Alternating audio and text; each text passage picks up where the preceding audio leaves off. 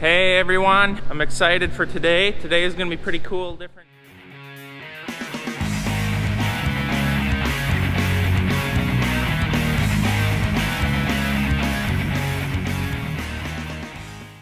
Little different flow today. We're gonna be having some guys come in to do some welding on the planter, put some pretty cool upgrades on this area right here I talked about in the past video. Wait till they get here, talk about it a little bit and see what them guys know. Should be pretty exciting, but right now I'm working on just cleaning up this whole area, get the excavator out so they can pull their truck in and get to work.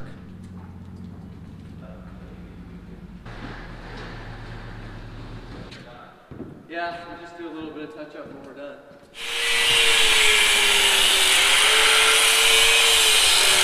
Just don't look at this thing because it makes you nervous and you lose the train of thought. Okay. Actually, just look at me and make it seem as normal as possible. All right. Well, I don't know. All right.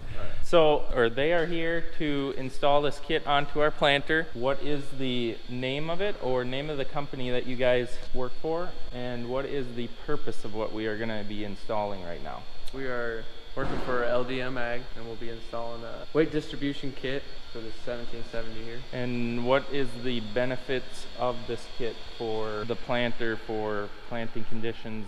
What is the benefits of it? Uh, what it'll do is because the main frame of the planter is so heavy, it'll actually push down on the wings and take some of the weight off the main frame and make the all the row units play evenly. So you get less weight to the center, which I would imagine is great benefit for mud holes also. Not Yeah. that you not that we plant in mud. but definitely would help in muddy field situations where you're in a spot that you don't want to be in to help lessen the weight behind the tractor and put more of the weight towards the outside so you may not get stuck as easily along with compaction on headlands is what Dave said. Yep. The boss, the guy that sold this kit also to us. So that is just a little bit of what these guys are going to be doing today and you're going to spend your whole weekend here or at least your Saturday, right? Yep. Yep. How many hours do you think you're going to have invested? Uh, we normally get one done about 10, 11, No. 12 hours, something like that. And it takes that long because you have to three pass the well. Yeah. Well, it's also with putting all the hoses on and Yeah, generally, you know, by Plumbing the it, time we going plumb it and paint it and They were amazed that we did this much ourselves. So, yeah. it a lot of times we come here and it's they got a lot of stuff on it, and we got to move it out of the way. But this this one's ready to go. All right. Well, let's get to it.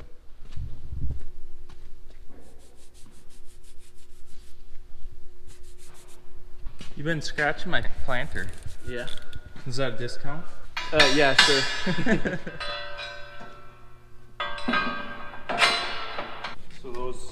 have pressure to them all the time then, right? yep. Anytime the tractor's running or just when the planter is in the position? Yeah. Their welder is so big, it's dimming the lights in here. I've seen that. Somewhat concerning to me. I hate going out there with this because everyone stops and just looks at me. Well, I don't know why they look at me. Well, it kind of looks like a big raccoon is going to attack, is what I'm thinking. Look out. It, I will Look choke out! you out. what is your feelings about this kit? Are you excited? Do you think it's going to benefit you? It's all so new to me. I guess I didn't know they made the deal, but if I understand correctly, this is really difficult. Here, let me sit back. yeah, If I understand correctly, every time the planter is lowered all the way to the ground, then it hydraulically forces No, the wings down, I think there's power. lifting up on the center of the planter. Well, there's power to it all the time as long as your hydraulics are energized for the delta force and as long as your planter switch is switched into plant mode instead of transport mode. When you turn it to transport mode, it kills all of the flow to those cylinders because So when you turn around you- on the headlands, then it's also putting pushing down on the wing wheels Yes. so that you spread out the weight. Yes, Okay. because that's where they also want benefits so that you don't pack down the seed that's already been planted on the headlands. Do you think a guy could put another wing wheel on? Well, I suppose maybe they could weld that up too. Where are we gonna find a wing wheel? Say that ten times in a row. Wing wheel. Wing. A wing. I do not like looking directly into that camera. Don't like it. I'm gonna go home now because I'm so nervous I can't think. I'm just gonna keep it rolling until you freak out. Missed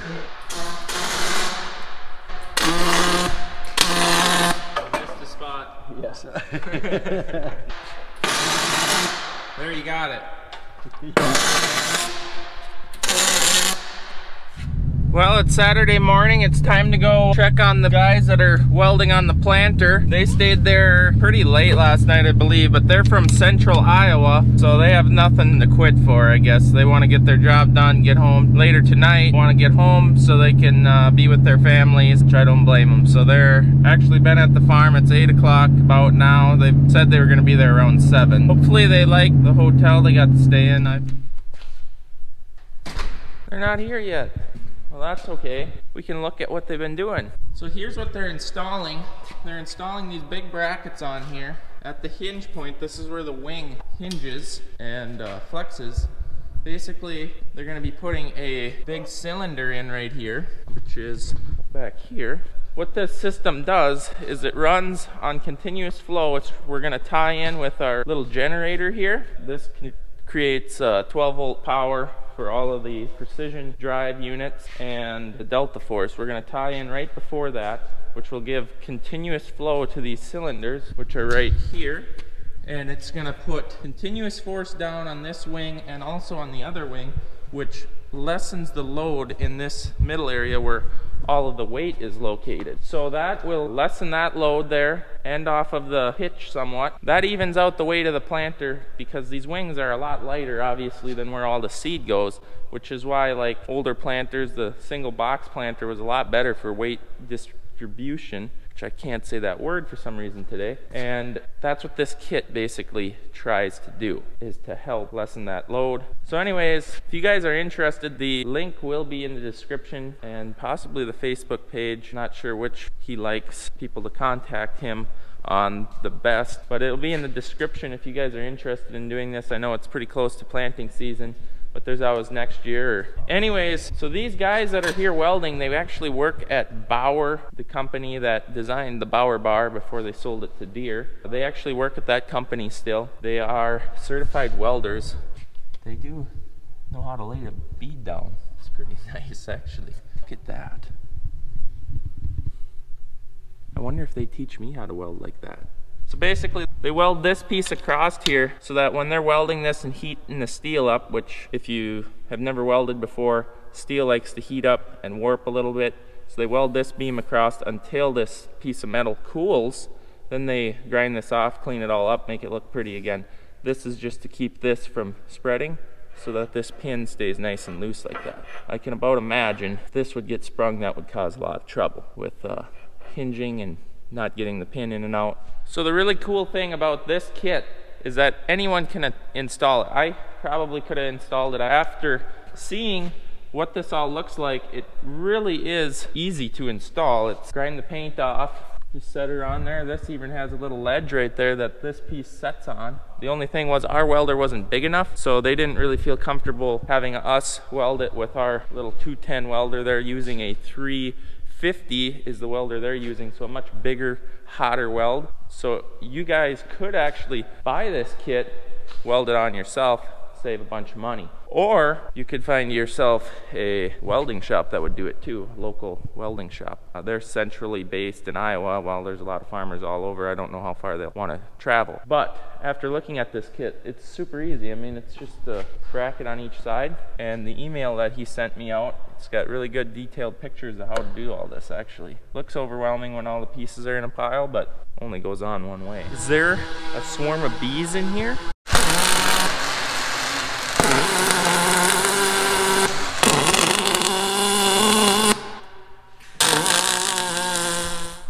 Sounds like an angry swarm of bees.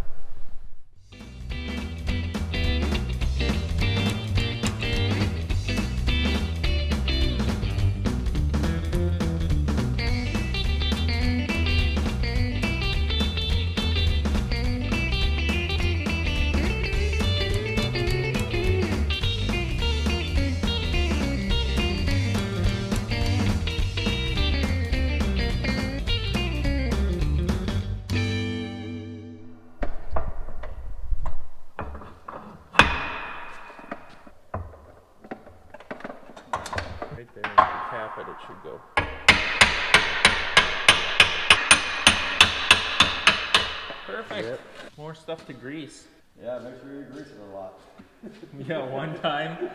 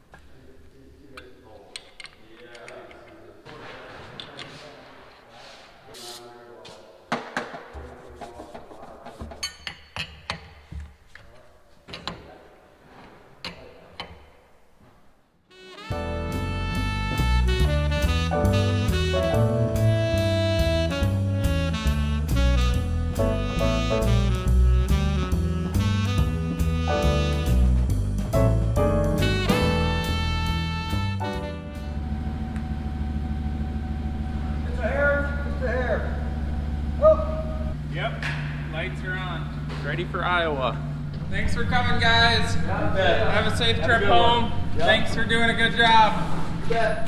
So there you go, guys. This kit is completed, except for I have to run some hoses from this precision box to energize that up, which it just needs continuous flow. I'll show you the valve that controls it. It just constantly keeps, well, the gauge says 800 to 1,000 pounds is where you want to keep it and it will continuously keep that pressure to this wing, but will still flow back. So if it starts pushing up, it'll keep 800 pounds of pressure on there, but it'll still flex. So it'll just return the extra oil, which is super cool. So you continuously have that flow. As long as you're in plant mode and not transport mode, which you can't plant unless you're in plant mode, you will be energizing pressure to those cylinders which is great because it alleviates weight off of this and puts more weight out on these wheels. This side's done also. We just have to put our hoses back on, which they put these brackets here on so your hoses reroute around that. Now the only thing that they did say that could be an issue is fertilizer tank. The fertilizer tank could be an issue for height here, these components. So they thought because we homemade these stands that they sit on that it's maybe high enough that it won't affect it, but some factory John Deere tanks have an issue and have to be raised a little bit so that that fits when it folds up against there. The other thing is here is this valve. Here's where I got to plumb hoses to my pressure, but you just set with this set screw here from 800 pounds to 1,000 pounds is where you want that gauge to run. Obviously, the more pressure, if you're at 1,000 PSI here of hydraulic, you're putting about 2,200 pounds on each wing. So that's alleviating weight off of the center section. They said if you're running liquid, run about a thousand pounds. If you're running no liquid, just seed, run about 800, somewhere in there. So that's pretty cool. Missing a hose. You figuring it out? I took apart that side and I got that side back together. I took this side apart. I chose. Reassembling. This side is pretty much totally reassembled. It all works the same here on this side. This side just avoids the cylinder area where it used to run, goes over here, and then into that bracket also.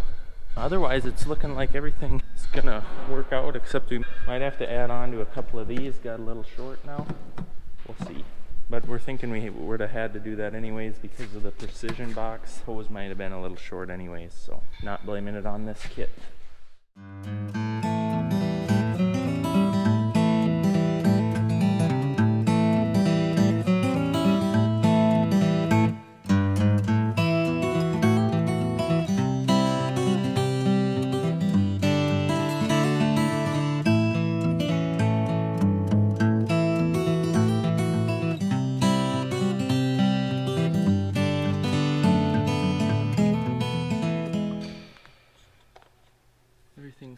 Shorter for some reason.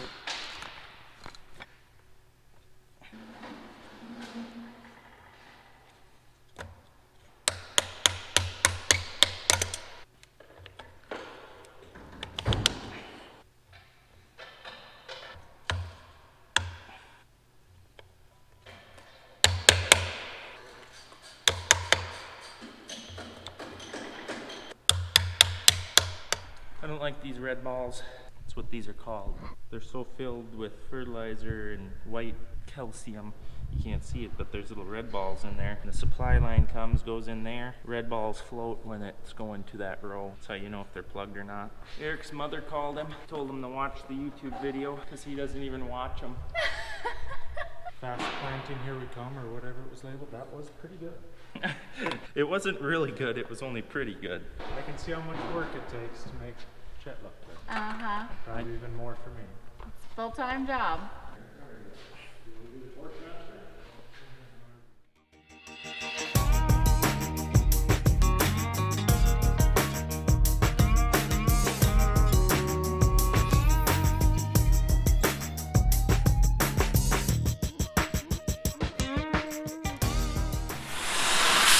It's your first day torching? interesting. Very interesting. Look at this universal joint. Look at this. Buy them on Amazon. I don't like that. If this goes on YouTube, I will steal Toby.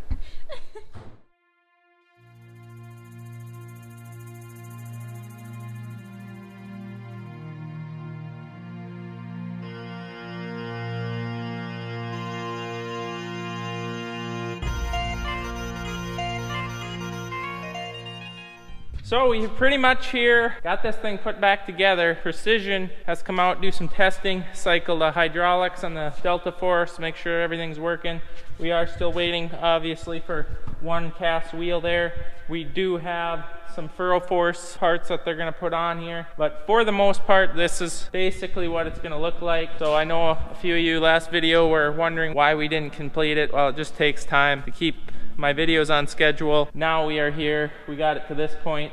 Precision, I believe, is coming back tomorrow. So we'll get this thing test fired up and that might be in the next video. I'm not sure. I think I got enough footage for today. Thanks for watching. Don't forget to subscribe, give us a thumbs up, and please check out our sponsor, Ag Chemical Solutions, and get yourself some cheap chemical through them. If you don't follow us on Instagram, you guys should follow us. Our links are in the description below. So is all of the links for this information if you guys want to get yourself a weight distribution kit. See you guys.